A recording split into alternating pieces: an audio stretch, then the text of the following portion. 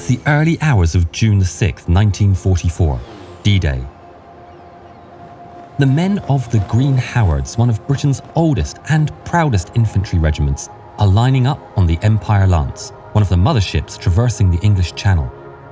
The Yorkshire-based unit has been selected by Field Marshal Montgomery as the spearhead of the landing on Gold Beach. As the Green Howards wait their turn to board the landing crafts, they are handed a last-minute piece of equipment, condom. A booming voice thunders over the sound of cannon fire, what are these for? he bellows. Are we going to make war to the Germans or screw them?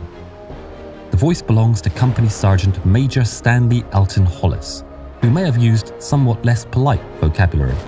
The large and fiery man has fought with gallantry in all the major theatres of the war, from the Battle of France to El Alamein to the invasion of Sicily. He is said to have taken down at least 100 enemies. He's survived five major injuries. His men call him the man they couldn't kill but he is about to live his most dangerous day yet. Hollis, one of the old men of the unit, is looked up to by the younger soldiers who look to him to take the lead. Hollis and the Green Howards boarding their landing craft, they're heading to King Sector of Gold Beach, braving the violent waves and the defensive barrage discharged by German mortars and field guns. Everything in the world opened up from behind us, he wrote in his brief memoirs. There were 25 pounders firing off floating platforms, floating platforms firing thousands of rockets in one salvo, cruisers, destroyers, battleships, everything opened up on the shore. Some of the men are just tense, most are shaking. All are struggling to look the day in the face and control their bodies. When Stan's craft is within reach of the shore, it's targeted with machine gun fire shot from a German pillbox on their flank. Pulling the cocking handle back on the landing craft's Lewis gun, Hollis unloads the whole ammo drum onto the German strongpoint Stan pulls the machine gun off its mount to reload, but forgets the barrel is red hot, and with the scorching heat, he sears his hands. The ramp of the craft slams down, and Stan jumps into waist deep water. As the ground shakes under cannon and mortar shells, the sergeant leads his company up the heavily mined beach. The Green Howards are running up a hill towards the cover offered by a lone house.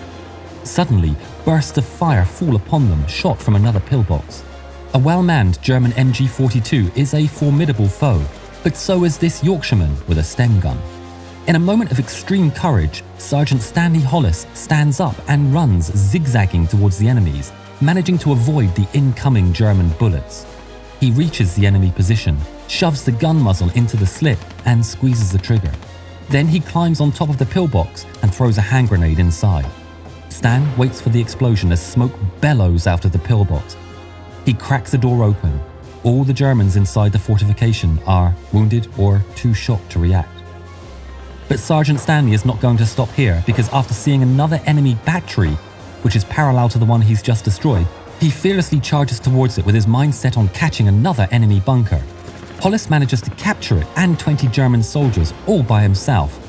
With two German batteries decommissioned, Hollis effectively secured an advance point for Allied troops that have already occupied a good part of the Normandy beaches. According to the war biographer Mike Morgan, without Hollis's contribution, the first attack would have been stopped by the enemy troops, thus a crucial moment of the landing being jeopardized. Asked later why he risked his life so carelessly, Hollis simply replied, Because I was a Green Howard. While storming another position, Stan throws yet another hand grenade, but forgets to take out the pin first.